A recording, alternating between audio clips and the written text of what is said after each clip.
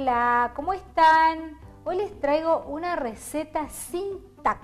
Sí, para las personas que, que son celíacas o las personas que no quieren consumir harina por una cuestión de enfermedad o porque se están cuidando, les traigo estas galletitas. Son súper ricas, son como una pepa común que te comes, pero es sin tac. Estas eh, proporciones de ingredientes aproximadamente para 8 galletitas. Tenemos 50 gramos de manteca, 30 gramos de azúcar, un huevo, polvo para hornear y 150 gramos de premezcla sin tac y un poquito de dulce de membrillo que es para eh, ponerle arriba. Podemos poner dulce de membrillo, dulce de batata, lo que a ustedes se les ocurra. Y un poquito de harina sin tac que va a ser como para integrar un poco la masa.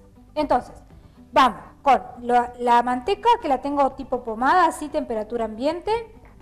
Le vamos a agregar el azúcar y vamos a hacer un arenado, una crema, una crema con esto esto queda así que se arma como una crema cuando se une el azúcar con la manteca y le vamos a agregar el huevo. Vamos a seguir integrando. Bueno, ahora ya le integramos el huevo. Le vamos a poner una cucharadita de polvo de hornear y le vamos a ir colocando de a poco la premezcla sin taco. Esta premezcla la pueden comprar en cualquier dietética. Y si no, también eh, fórmula que la puedes hacer en casa con harina de arroz, harina de mandioca y con fécula. Si a alguien le interesa la fórmula, me puede escribir y yo se la paso, no tengo ningún inconveniente. Tratamos de trabajar esto con espátula para no ablandar la manteca, para que se pueda eh, ir armando la masa, porque como es una masa de manteca, si no, la voy a tener que dejar en la heladera. Si ustedes ven que queda muy blanda, o le agregan más harina de premezcla o la colocan en la heladera para que la manteca se endurezca y ya le pueden dar la forma. Bueno, esta es la textura de las masas que nos queda. Tenemos dos formas. Una de estirarla con el palote, yo la voy a trabajar solo. Voy a hacer un rollito, que es la forma más fácil. Podemos trabajarla con un palote, estirarla de aproximadamente unos un milímetro más o menos y cortarla con un cortante galletita. Yo la voy a trabajar así. Voy a tratar de hacer más o menos eh, cortes del mismo tamaño. También podemos usar un corset, algo para cortar. Yo lo voy a cortar con los dedos. Voy a armar una bolita.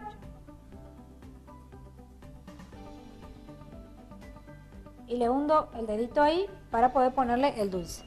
Lo voy a ir colocando sobre la flip que tengo ya enmantecada. La pieza está fría. Ahí le voy dando.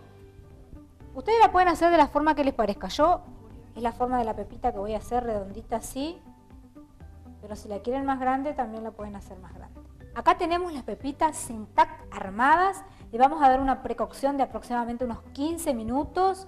Yo le puse dulce de membrillo, pero ustedes le pueden poner dulce de batata, dulce de leche, lo que más les guste.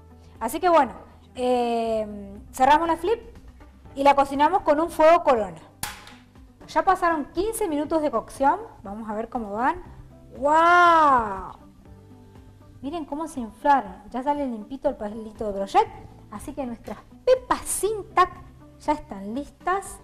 Vamos a proceder a sacarlas despacito porque están calentitas, extremadamente calentitas.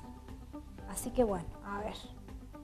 La verdad que se inflaron más de la cuenta, ¿eh? O puse muchas y ahí está.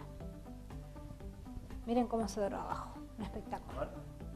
Miren. Súper rica. A ver si puedo abrir una para que quiero mostrarle, miren, adentro, súper esponjosa, súper liviana, muy rica. Van a comer una pepa sin tac y va a parecer como que fuera con harina de trigo y es con harina de premezcla sin gluten.